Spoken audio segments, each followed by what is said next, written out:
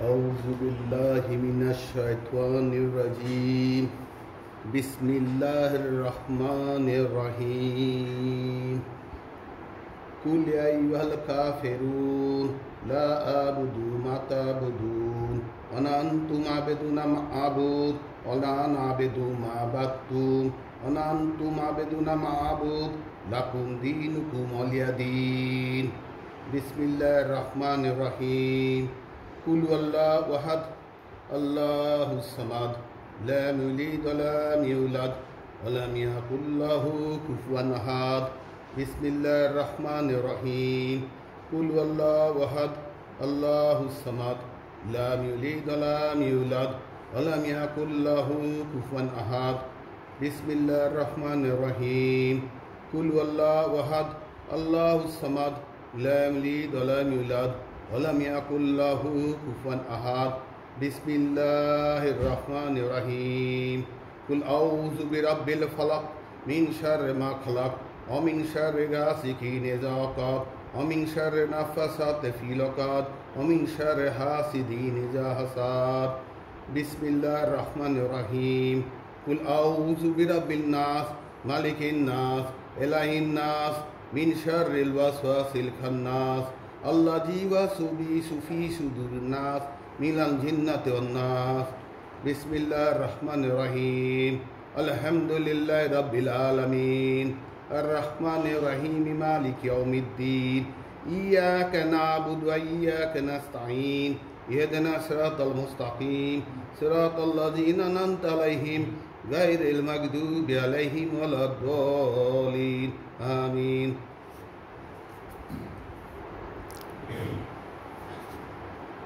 الحمد لله الحمد لله رب العالمين. والعاقبة للمتقين. الصلاة والسلام على أشرف الأنبياء والمرسلين. وعلى آله الطيبين والطاهرين. وأصحابه أجمعين. بسم الله الرحمن الرحيم. يوم لا ينفع مال ولا بنون إلا من أتى الله بقلب سليم. بسم الله الرحمن الرحيم. إن الله وملائكته يصلون على النبي يا أيها الذين آمنوا صلوا عليه وسلموا تسليما اللهم صل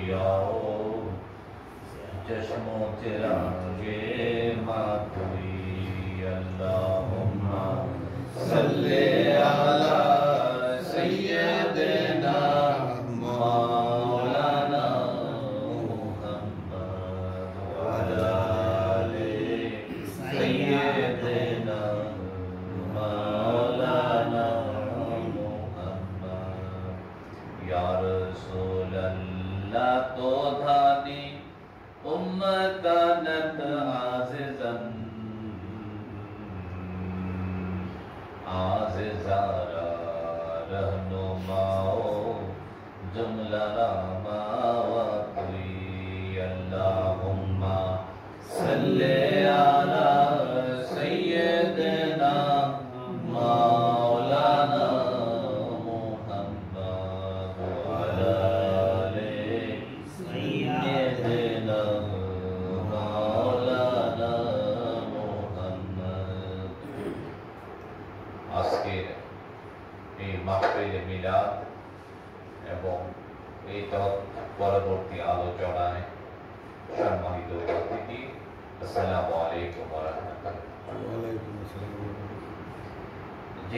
আমরা আজকের এই মাহফিল মূলত রসুল পাক সাল্লামের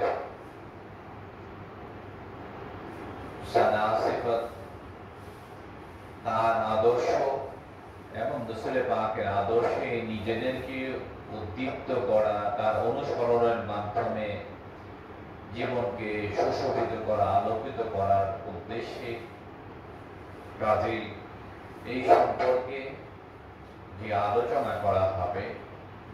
এই আলোচনা মূলত রসুল পাকের তথা আল্লাহ পাকের সন্তুষ্টির নিয়তেই আলোচনা। এবং রসুল পাকের স্মরণে যে আলোচনা হয়, আল্লাহ জাল্লে শানুহু বলেছেন ওরা ফান আলাকা জিকরা অর্থাৎ আপনার আলোচনাকে, আপনার স্মরণকে আমি অতি উচ্চ মর্যাদা আল্লাহ তারা বলেছেন রসুল পাকের যেখানে আলোচনা হবে, আল্লাহ বলেছেন এই আলোচনা অনেক মর্যাদাপূর্ণ। কাজী, আলোচনা যদি মর্যাদাপূর্ণ হয় রসুল পাকের আলোচনা, এই এই মসজিদের মধ্যে, এই মাহফিলের মধ্যে যারা উপস্থিত থাকবে, নিঃসন্দেহ তারাও মর্যাদাশীল হবে। এই বিশ্বাস নিয়ে, এই দৃঢ়তা নিয়ে, এই শোক নিয়ে এই আনন্দ নিয়ে এবং এই ইস্তেকামা নিয়ে যারা উপস্থিত হন, কোন সন্দেহ নাই, তারা এই মাহফিল থেকে ফয়াজ এবং বরকত রহমান হাসিল করবে। এখন বর্তমান সময়ে একটু আগে আলোচনা হচ্ছিল যে বিভিন্ন মানুষ বিভিন্ন ভাবে ইসলাম নিয়ে ব্যাখ্যা করছেন। এর বদৌলতে আমরা কি করছি? ইসলামের যে সৌন্দর্য, যে যা দেখে মানুষগণ মোহিত হতো, একজন মুসলমানকে দেখে মানুষ অভিভূত হতো, তাদের আখলাকে হামিদা দেখেই মানুষ ইসলাম এদিকে ধাবিত হয়েছে। শত শত মানুষ কি, হাজারে হাজারে মানুষ। তাদের চরিত্র মাধুর্য এমনই ছিল। আর আজকে অধিকাংশ আমি সবার কথা বলব না। অনেক মানুষ কথার মধ্যে, অনুকরণের মধ্যে একটু আগে আলোচনা হচ্ছিল। অনুকরণের মাধ্যমে নিজেদেরকে ইসলামের ধারক ধারক হিসেবে উপস্থাপন করতে চান। কিন্তু সত্যকার ভাবে যে ইসলাম, যেটা রসুল পাক সাল্লাম আহলে বাইতের ইমামগণ, সাহাবায়ে কেরাম এবং আহলুল্লাহ আউলিয়া তথা আউলিয়া কেরাম যেভাবে ইসলামকে বুঝেছে, ইসলামকে মানুষের সামনে তুলে ধরেছেন আমরা যদি তাদের জীবন থেকে এবং তাদের শিক্ষা থেকে শিক্ষা নিয়ে আমরা এই ইসলামকে এভাবে উপস্থাপন করি, নিঃসন্দেহ এটা আমাদের জন্য তথা সমগ্র মানবতার জন্য, আমাদের পরিবারের জন্য এটা আমার আলোক বর্তিকা হয়ে যাবে। আমাদের জিন্দিগি সুন্দর হবে, আমাদের সমাজ বিশুদ্ধ হবে, আমাদের পরিবারে শান্তি নেমে আসবে এবং এই এই পর্যায়ে যদি রাষ্ট্রীয় পর্যায়ে মানুষ এটা অনুসরণ করে। প্রত্যেক পর্যায়ে আল্লাহ প্রশান্তি ফয়সালা করে এই জন্য আমরা মোনাজাত করি, রব্বানা আতিনা দুনিয়া হাসানাতাও ওয়া ফিল আখিরাতি হাসানাতাও ওয়া কিনা এই যে হাসানা হাসানা বলতে আমরা কি বুঝি? প্রশান্তিময় জীবন। এই প্রশান্তি তখনই হবে যদি জীবনে প্রত্যেকটা ক্ষেত্রে রসুলের পাক সাল্লামের আদর্শকে আমরা সামনে রাখি। এবং যখন প্রশ্ন করা হলো আমার উম্মতের মধ্যে, ইহুদিদের মধ্যে বাহাত্তরটা দল উপদল ছিল? রসুল সাল্লাম বললেন, আমার উম্মতের মধ্যে অসংখ্য বিভেদ তেয়াত্তরটা দল হবে। আমি বিভক্তির কথা বলছি না। বিভক্তি হয়ে যাবে, আমরা বর্তমান সময়টা দেখছি। উদ্দেশ্য বিভক্তি নয়, কিন্তু আমাদের আমাদের আচরণের জন্যই মানুষের মধ্যে বিভক্তি দেখা দেবে। এর মধ্যে এত এত বলা হচ্ছিল যে আমাদের আল্লাহ বলেছেন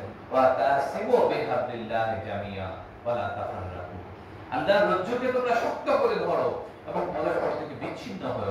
বিচ্ছিন্ন উদ্দেশ্যে, বিভেদের উদ্দেশ্যে কথা বলা হারাম করে দিয়েছেন। বলছেন আল ফিতনা তো আসাদু মিনাল কাতল। ফিতনাকে সৃষ্টির জন্য যে কথা বলল সে কতলের চেয়ে অপরাধ বেশি করল? সে সে কতল? কতল করলে একজনকে যদি খুন করা হয়? একটা মানুষকে যদি কেউ খুন করে খুন করলে বলা হয়েছিল যে আল্লাহ তাআলা সুবহানাহু তাআলা বলেছেন সে যেন সমগ্র মানবতাকে খুন করল। একটা মানুষকে অন্যায়ভাবে হত্যা করলে আল্লাহ তাআলা বলেছেন, তার শাস্তি কি হচ্ছে? সে যেন সমগ্র মানবতাকে হত্যা করে আর বলা হয়েছে, কেউ যদি ফিতনার উদ্দেশ্যে কথা বলে, মানুষের মধ্যে হেদায়েত ইসলাম এসেছে কি? হেদায়েতের জন্য, ভ্রাতৃত্ববোধের জন্য। বিভক্ত সমাজ ছিল, আইএমএ জাহিলিয়াত ছিল। সন্তানদের, মেয়েদের কোনো ইয়ে ছিল না, সম্মান ছিল না। মেয়েদেরকে জীবন্ত কবর দেওয়া হতো। রসুল পাক যখন দেখলেন বললেন, এত সম্মান দিলেন বললেন, আজ জান্নাতু তাহতা আকদামিল উম্মাহাত মায়ের প্রায় কদমের নিচেই হচ্ছে সন্তানের পেট এই যে সমাজকে যখন এই এই ইয়ে সমাজ ছিল, কুসংস্কার সম্পন্ন সমাজ, অন্ধকার ময় সমাজ, এই সমাজ ইসলাম এসে বিশুদ্ধ করেছে। ভাই ভাইয়ের মধ্যে ভ্রাতৃত্ব বন্ধন দিয়েছে, সন্তানের সাথে সন্তান, মেয়ে সন্তান হলে যেখানে মুখ অন্ধকার হয়ে যেত রসুল এইভাবে সম্মান দিলেন। নিজের মেয়ে যখন জাহরা আলাইহা আসতেন রসুল রসুল রাব্বুল আলামিন বসে আছেন। তার মেয়ে যখন আসতেন, তিনি দাঁড়িয়ে যেতেন। দাঁড়িয়ে সম্মান করতেন, চুমো দিতেন, নিজের আসনের মধ্যে বসিয়ে দিতেন। এইভাবে মায়ের জাতকে, মেয়েদেরকে সম্মান যদি সম্মানিত হয়, সম্মান করা শিক্ষা রসুলে পাক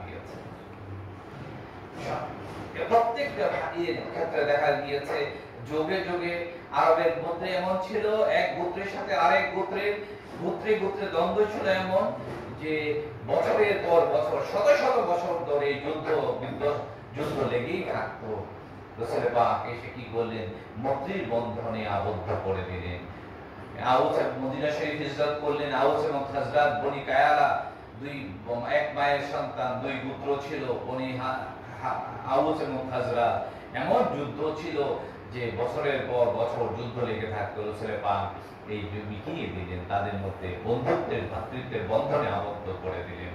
গাজী ইসলাম যেখানে গিয়েছে, সেখানে কি করেছে? বিভক্ত সমাজকে, যেখানে ধ্বংসপ্রাপ্ত সমাজকে গড়ে দিয়েছে প্রশান্তি ফয়সালা করে দিয়েছে।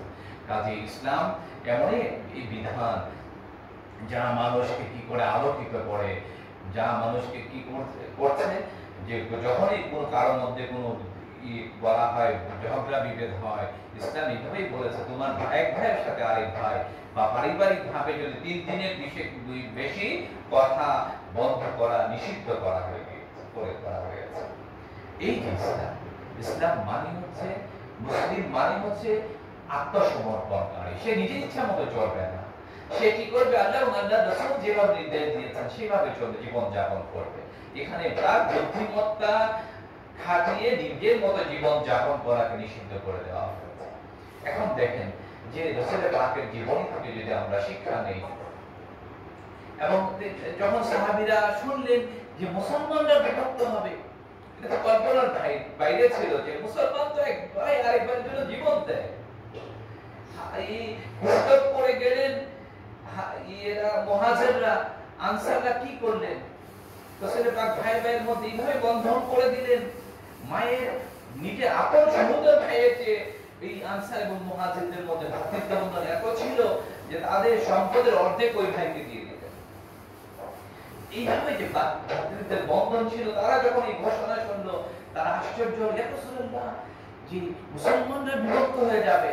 বললেন যে হ্যাঁ আমাদের, আমার উন্মতেও প্রত্যেকটা দলে বিভক্ত হয়ে যাবে এবং বললেন বুঝা তাহলে নাজি দল তারা অনুগ্রহ প্রাপ্ত দল কোনটা যারা যারা সত্যিকার অর্থে হেদায়ত প্রাপ্ত দল কোনটা হবে বললেন যারা আমাকে এবং আমার সাহাবিদেরকে অনুসরণ এবং সবাই কিন্তু দাবি করে কেউ কিন্তু বলে না যে আমি আমি ওই দলে না বলে বলে বাকি বাহাত্তরটা বাদে আমি একমাত্র হব সবাই কিন্তু এই চিন্তা মনে করছে কিন্তু কি করছেন বলে কায়নাত হযরত আলী মুর্তজা কালামুল্লাহ আছে সমুদ্র সফিদের ধারা যার মাধ্যমে এসেছে তিনি বলেছেন একবার যুদ্ধের ময়দানের মধ্যে, মুসলমানদের মধ্যে যুদ্ধ হচ্ছে সিফিনের মধ্যে। একজন মনে করল যে এখানেও আছেন সাহাবিদের মধ্যে আছেন দলের মধ্যে আমির মুয়াবিয়া ছিলেন। একজন কনফিউজ করল যে এটা বিষয়টা কি? তাহলে আমরা কার পক্ষে যাব?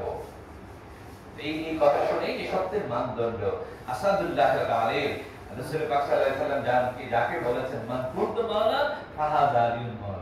আমি যার মাওলা, আমি যার অভিভাবক, আমিও তার অভিভাবক। এবং বলেছেন আনা মাদিনাতুল ইলম, ওয়া বাবুহা আমি হচ্ছি জ্ঞানের শহর আলী হচ্ছে এর দরজা জ্ঞানের, হাকিকতের জ্ঞানের মধ্যে দৌড়তে গেলে হযরত আলীর মাধ্যমে করতে হবে তিনি বললেন, যখন এই অবস্থা দেখলেন একজন লোককে, বললেন, তুমি প্রতারিত হয়েছো। এই এই স্ট্যান্ডার্ডটা আমাদেরকে জানতে হবে। বললেন, তুমি প্রতারিত হয়েছো। প্রতারিত কীভাবে হয়েছো? তুমি কি করেছ? ইসলামকে ব্যক্তি দিয়ে ইসলামকে মেপেছো। ব্যক্তিদের কীভাবে? তুমি কি করেছ? ওই ব্যক্তিকে স্ট্যান্ডার্ড ধরে ইসলামকে মেপেছো। এই জন্য তুমি প্রতারিত হয়েছো। মাপবে কি? ইসলাম স্ট্যান্ডার্ড হক। যেটা জাল হক, ওয়া জাহাকাল বাতিল, ইন্নাল বাতিলা কানা জাহুক সত্য সমাগত ও সত্য বিতাড়িত। যে বলা হচ্ছে, ইন্নাল বাতিলা কানা সব অসত্য মিথ্যা তো বিতাড়িতের জন্যই। মিথ্যাকে দিয়ে সত্যকে মাপা যাবে না। আমরা গোজামিল দিয়ে পছন্দ করি। গোজামিল দিলে খুব মজা লাগে। সব কিছু মজা লাগে। হকের স্ট্যান্ডার্ড একটা। হক প্রতিষ্ঠা করতে জীবন গেলেও সাহাবায়ে কেরাম বাইতের ইমামরা কখনো কম্প্রোমাইজ করেছেন? কখনো করেন নাই। সব এই জন্য বলা কায়নাত যখন বললেন, প্রতারিত হয়েছে, তুমি কি করেছ? ইসলাম যে সত্য, বাইতুল মাল জনগণের হক। যে নষ্ট করবে, তার, তারপরে হচ্ছে, এটাকে স্ট্যান্ডার্ড সত্য, সবার সাথে কি করতে হবে সুন্দর ইনসাফপূর্ণ ব্যবহার এটা হচ্ছে স্ট্যান্ডার্ড তারপরে হচ্ছে, কেউ যদি কারও কোনো যে গভর্নর হোক, সে যদি কোনো অন্যায় করে, অন্যায়ের প্রতিবাদ করা হচ্ছে, ইসলামের স্ট্যান্ডার্ড যে ইসলামের কিছু নীতিমালা আছে, সত্যের যে নীতিমালা আছে, এই নীতিমালা দিয়ে তুমি ব্যক্তিকে কি করবে? ওজন করবে। ওই নীতিমালার মধ্যে যদি ব্যক্তি টিকে যায়, তাহলে সে হক।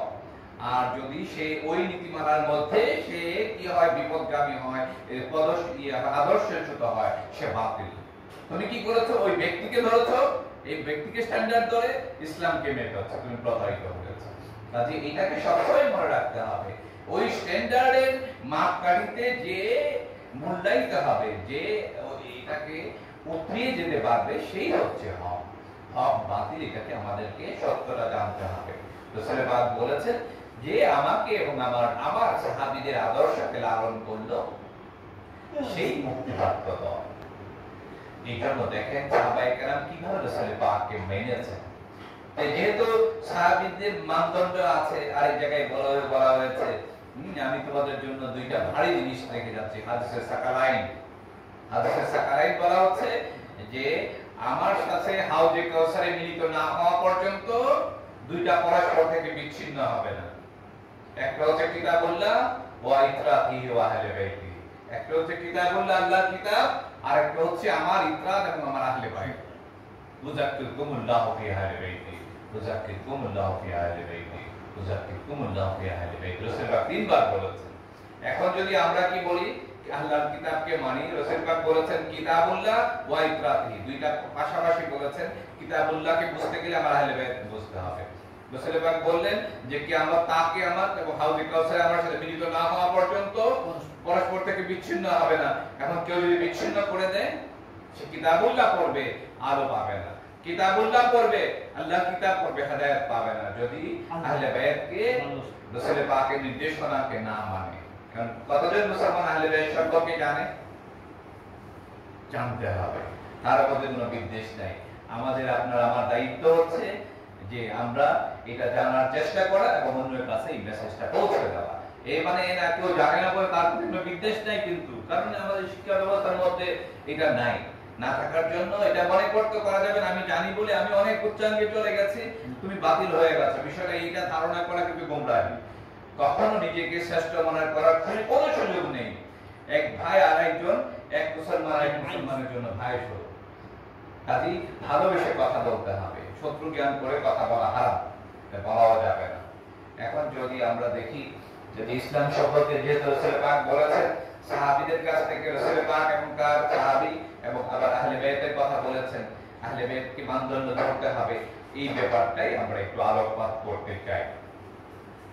দেখেন সাহাবাই অনেকে বলেন যে আমরা যখন কোনো মোহাম্মদের কথা বলি, তখন অনেকে বলেন রসুল বাপ্তি ভাই বলেন এখন প্রশ্ন হচ্ছে যে হিজরতের সময় দেখতে পাচ্ছি আমরা, আমি লম্বা ঘটনা দিকে যাচ্ছি। যে কি করলাম? রসুল পাক বলেন, হিজরতের সময় যে আবু আমার হিজরত করব, তুমি হিজরতে আমার সাথী হবে। এতটুকুই তো বললেন। যখন হিজরতের রাতে গিয়ে টোকা দিলেন, ইয়া আবু বলেন, লাব্বাইক ইয়া সাথে সাথে দরজা দিলেন। বলেন, হে আবু তুমি ঘুমাও নাই? ইয়া যেদিন আপনি বলেছিলেন যে আমি হিজরতের সাথী হব, ওই দিন থেকে হযরত আবু বকর বললেন যে আমি মধ্যে পিঠ মধ্যে পিঠ লাগান না, এমন না সারা রাত দরজার মধ্যে দাঁড়িয়েছিলেন।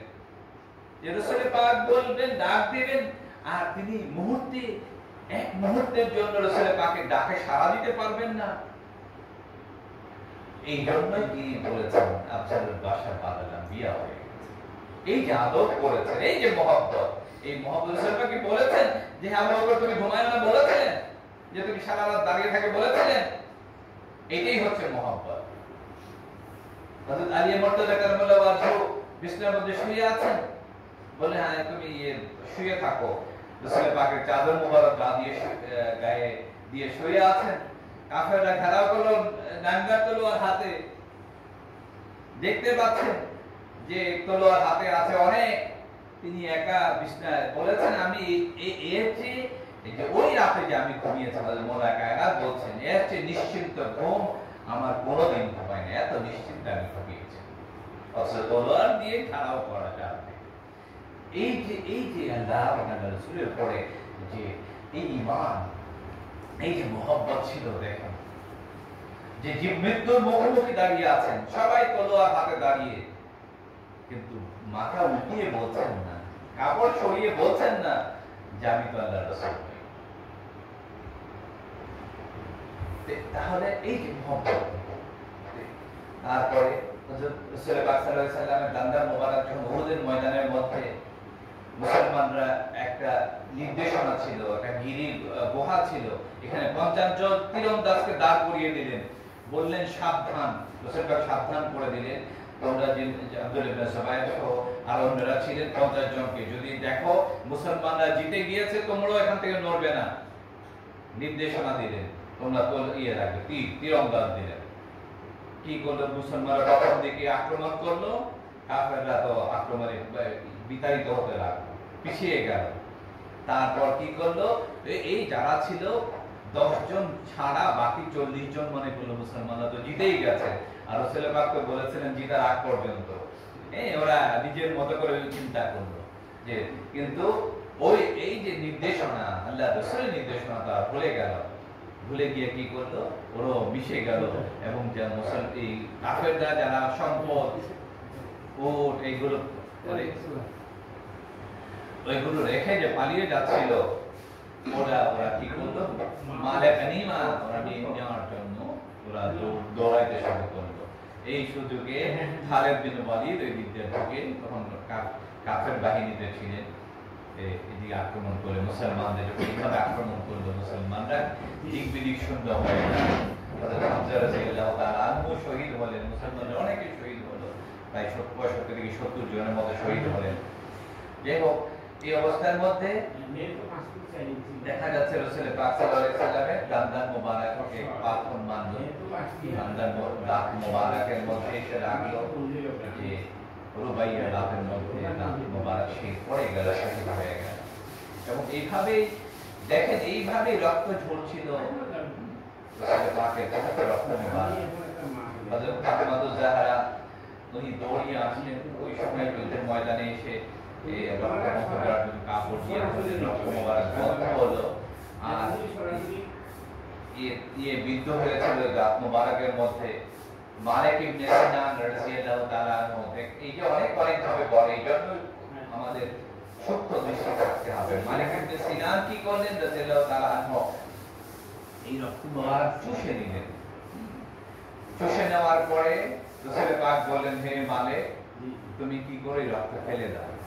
নির্দেশ দিলেন না ফেলে দেওয়ার জন্য? রসুল পাক বললেন ফেলে দাও।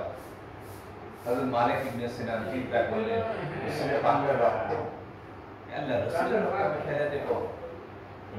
গিলে পাক তাইলে কি হলো? তখন রসুল পাক বললেন দুনিয়ার মধ্যে যদি জান্নাতের কাউকে দেখতে চাও, মালিক ইবনে সিনান কারণ নবীর রক্ত ধারণ করেছে তাহলে এই যে শিক্ষাগুলো, আমরা কীভাবে শিখছি? আমরা শিখছি রসুল বলেন এখানে তো বলছিলেন? আনহু বলেন নাই তো। তবুও তিনি গেছিলেন উনি তো বললেন যে ফেলে দাও। আম হুকুম ফেলে দেওয়ার জন্য। কিন্তু তিনি মহব্বত এখানে মহব্বত ছিল। আল্লাহ রসুলের রক্ত ফেলে ওইদিকে দেখেন ওয়াস ওয়াস কারণী। হযরত ওয়াস কারণী রসুল পাক বলেছেন আমি ইয়ামের থেকে মহব্বতের গন্ধ পাই। হ্যাঁ, এখনও দেখেন ইয়ামিনীদের উপরে কত অত্যাচার হচ্ছে। সাধারণ মুসলিম ইয়ামিনীরা কিন্তু ইমানকে ধারণ করেছে। এই ইয়ামিনী মুসলমানদেরকে যে রসুল পাক বললেন যে যখন শুনলেন তার ওয়াইস কারণীর মা খুবই অসুস্থ ছিলেন। তার দেখাশোনার জন্য কেউ ছিল না।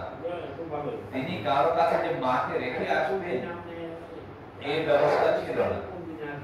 এই এই ব্যবস্থা না থাকায় মাকে রেখে রসুল পাকের কাছে আসতে পারছিলেন না। কিন্তু যখন শুনলেন রসুল দামদার মুবারক হয়ে গেছে। যখন এই মেসেজ তার কাছে গেল, কেমন আশেক ছিলেন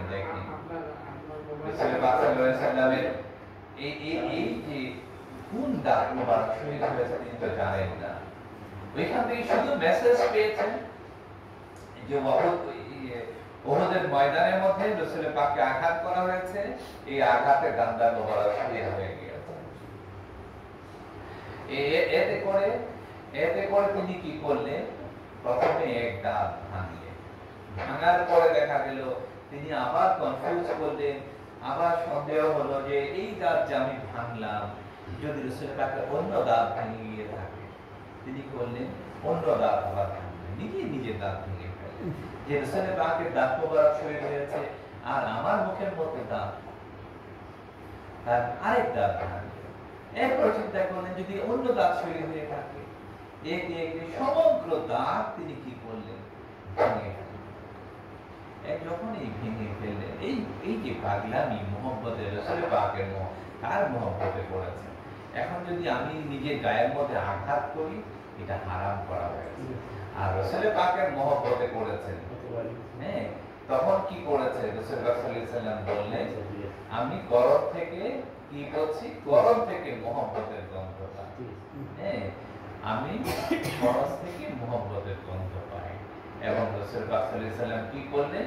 নিজের জিব জুব্বা মোবারক দিয়ে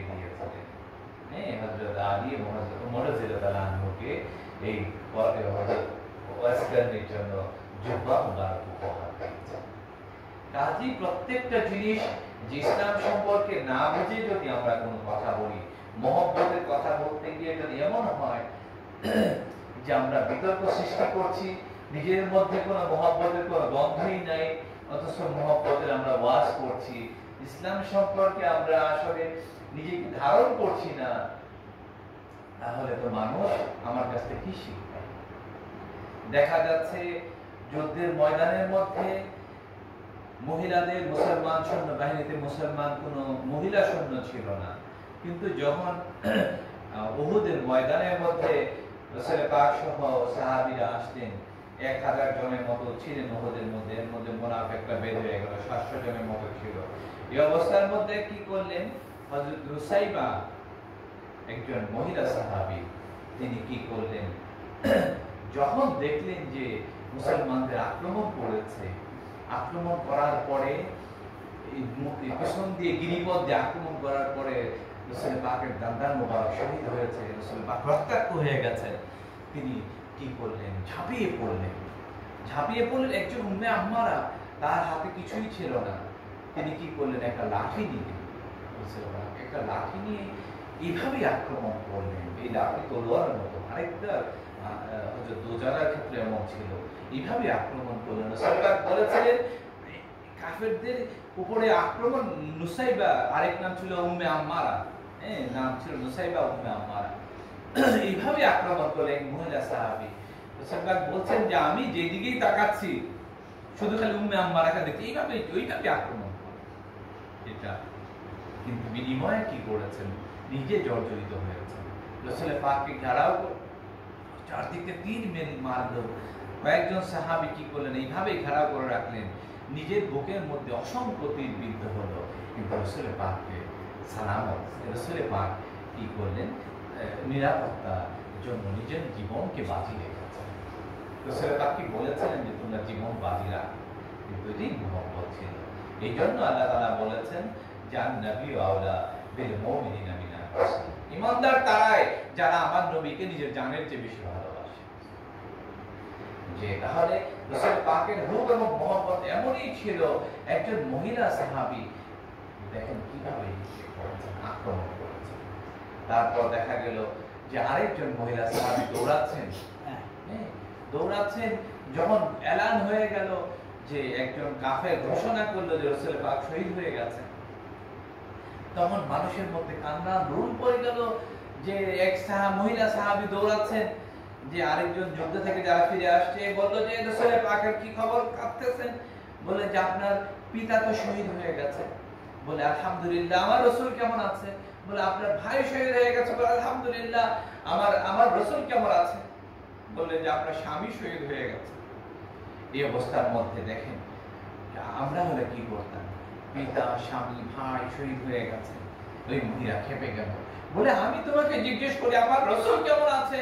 আর তুমি বলছো যে, আমার ভাই এবং আমার স্বামী, আমার আমার আমার পিতার তুমি সম্মান দিচ্ছ? তখন বললেন যে আমার রসুল সালামত রসুল সালামত আছে। তিনি কাঁদতে শুরু করলেন, আমার সবাই সালামত দৌড়িয়ে গেলেন। দেখেন কি মহিলা সাহাবী, কেমন ছিলেন? দৌড়িয়ে গেলেন, গিয়ে দেখলেন পাকের কাছে গেলেন পাকে মোবারকে ধরলেন আমার, আমি সবই সালামত আপনি সালামতে আছেন, আমরা সবই এইটাই ছিল ইসলাম। এই মোহাম্মতে ধারণ করেছেন। দেখা গেছে হিজরতের সময় কেমন সৌন্দর্য ছিল যে হিজরত করে গিয়েছেন হযরত আবু বকর রাদিয়াল্লাহু আনহু সহ কুবায় উপস্থিত হলেন। হযরত আলী কারামাল্লাহু ওয়াজহকে দায়িত্ব দেওয়া ছিল যে, তুমি কি করবা? বাইতুল মাল, অনেক মাল সম্পদ তারা কাফেররা কি করতো? আবু জেহেল আবু লাহাবের কাছে রাখতো না সাইবা কাছে, আবু সুফিয়ানের কাছে রাখতো না। যদিও রসুল পাককে নবী হিসেবে কাফেররা মানতো না, কুরাইশরা মানতো না, কিন্তু আজ সাদিক আল আমিন হিসাবে রসুল পাককে বিশ্বাস করতো। সমগ্র তারা বিশ্বাস তারা মালগুলোকে রসুল পাকে হেফাজতে রাখতো। যখন তিনি হিজরত করে গেলেন, ওই সময় অনেক কাফেরদের মাল, মালামাল রসুলের পাকের জিম্মাদারিতে ছিল। তিনি হযরত আলী কারবালাহকে বুঝিয়ে দিলেন, বললেন যে, তুমি এইগুলো ওদের মধ্যে ডিস্ট্রিবিউট করে, বন্টন করে দিয়ে তুমিও চলে আসবে। যখন রসুল পাক সাল্লাল্লাহু আলাইহি সাল্লাম কুবার মধ্যে চলে গেলেন, হযরত আলী কি করলেন? এই গাই মালামালগুলো এই কাফের যাদের দিয়ে মালিকদের কাছে পৌঁছে দিয়ে তিনি হেঁটে হেঁটে রওনা দিলেন। এবং এত বিপদসংকুল রাস্তা ছিল, এই হাঁটতে হাঁটতে গিয়ে কি করল? ওনার পা হুমারক কি পা থেকে কেটে কেটে রক্ত ঝরছিল। এইভাবে রক্ত, রক্তাক্ত অবস্থায় তিনি গিয়ে কুবার মধ্যে পৌঁছলেন। গিয়ে কাছে যখন বসলেন যখন দেখলেন পা থেকে রক্ত ঝরছে, কেটে গিয়ে, কেটে কেটে রক্তাক্ত হয়ে যাচ্ছে। এই এই এ দেখলেন, দেখে এই যে তিনি তো ছিলেন সাল্লাহ কাইল্লা তিনি সমগ্র ইয়ে আল্লাহ তাআলা বলছেন, আপনাকে আমি রহমত ছাড়া, দয়া ছাড়া কিছুই সবাই পাঠাই যখন এই অবস্থা দেখলেন হযরত আলীকে কাছে রসুল পাক এই চোখের পানিতে দাঁড়িয়ে এবং কাছে ডাকলেন নিজের লালা মুবারক কি করলেন হযরত আলী পায়ের মধ্যে এইটা মহা ঔষধের কাজ করল। তিনি সুস্থ হয়ে গেলেন। এই যে, এই বিষয়গুলো দেখেন, যাচ্ছেন কুবা মসজিদ থেকে মদিনা মনোয়ারার দিকে যাচ্ছেন। এই পর্যায়ের মধ্যে সালমান ফার্সি রাদিয়াল্লাহু তাআলা ছিলেন। কি চমৎকার, আমি লম্বা ঘটনার দিকে যাচ্ছি না, কিন্তু ওনাদের জীবনটা দেখেন।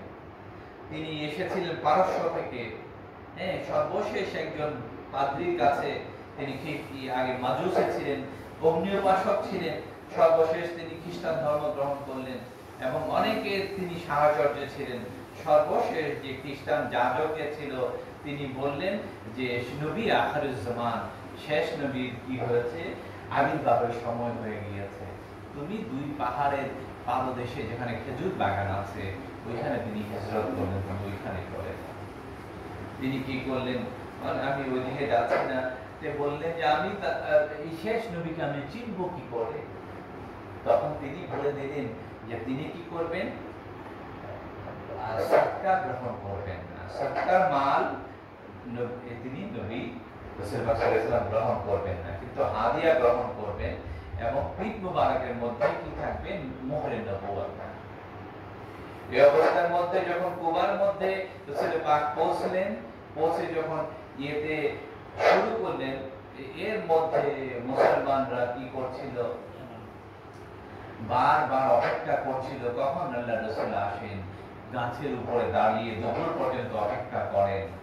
একদিন যখন অপেক্ষা করে চলে যাচ্ছেন এই পর্যায়ে এক ইহুদি দেখল গাছের উপর থেকে যে রসুলের পাক আরও সাথে ছিল। তখন ইহুদি বলতো হে বনিকায়েরা হ্যাঁ গোত্রের সন্তানেরা, তোমাদের রসুল চলে হ্যাঁ। যখন এই ঘোষণা ইয়ে চলল, এই এই সালমান রাদিয়াল্লাহু কি করছিলেন? খেজুর বাগানের মধ্যে ইহুদি কৃতদাস হয়ে গিয়েছেন একজন বিশ্বাসঘাতকতা করে সালমান এক ইহুদির কাছে বিক্রি করে দিয়েছেন উনি অনেক বড় জমিদারি সন্তান, এক বিশাল সম্পদশালী ছিলেন তার পিতা। কিন্তু ইসলামের জন্য কি করেছেন? কৃতদাস হয়ে গিয়েছেন বিক্রি করে দিয়েছেন এক ইহুদির বাগানের মধ্যে কাজ করছেন, তখন দুই ইহুদি ব- খেজুর বাগানের নিচে বসে আলাপ করছে। বনি কায়লার পুত্র লোকেরা ধ্বংস হোক, তারা দাবি করছে তাদের মধ্যে একজন নবী এই মক্কা থেকে একজন নবী এখানে হিজরত করে আসতেছে যখন হযরত সালমান ফার্সি এই কথা শুনলেন শোনার পরে ওনার কম্পন শুরু হয়ে গেল। কারণ ওই যে এই- যে যাজক খ্রিস্টান খ্রিস্টান যাজক বলে দিয়েছিল এবং যে হিজরত করবেন তখন তো এটা কম্পন তিনি তাড়াতাড়ি গাছ থেকে নেমে আসতেন বলে তোকে কি বলতেছিলে এই অবস্থায় যেহেতু ওরা কৃতদাস ছিলেন তো তারা ওনাকে একটা থাপ্পড় মারল। বলল তোর কি দরকার? তুই দরকার পেয়েছিস এই পর্যায়ে সালে পাক যখন কুবা মসজিদের মধ্যে আসলেন আসার পরে হযরত সালমান ফার্সিও দেখা করতে গেলেন। দেখা করতে গিয়ে কিছু খাবার খাবার নিয়ে গেলেন, বললেন যে এটা হচ্ছে সৎকার জিনিস হ্যাঁ এটা আপনি গ্রহণ করেন। তখন রসুলে পাক কি করলেন? এটা গ্রহণ করলেন না, গরিবদের মধ্যে, অন্যদের মধ্যে বিলিয়ে দিয়ে। তখন হযরত সালমান ফার্সি চিন্তা করলেন যে একটা ঘটনা তো আমার মিলে গেল। তারপর রসুল পাক যখন ইয়ে পৌঁছলেন, সম্ভব বনু নাজ্জার গোত্রের সাথে আত্মীয়তার সম্পর্ক ছিল। রসুল পাকের নানার বাড়ি দিকে হযরত আব্দুল মুত্তালিবের নানার বাড়ি ছিল বনি মধ্যে। রসুল পাক ছয় বছর এখানে গিয়েছিলেন।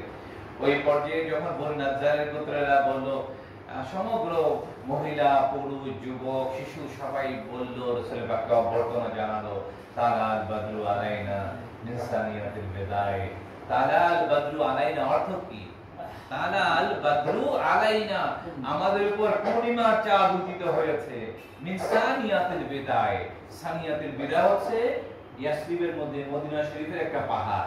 বললেন কারা বলছেন? সাহাবীদের বলতেছেন আর আমরা কি বলি? আমরা বলি রাসূল পাক সাধারণ মানুষ এই আমাদের মতোই। আর সাহাবীরা কি বলতেছেন? যে তারা আল বাদরু আলাইনা। কোথায়? সাহাবীরা কোথায়? এখন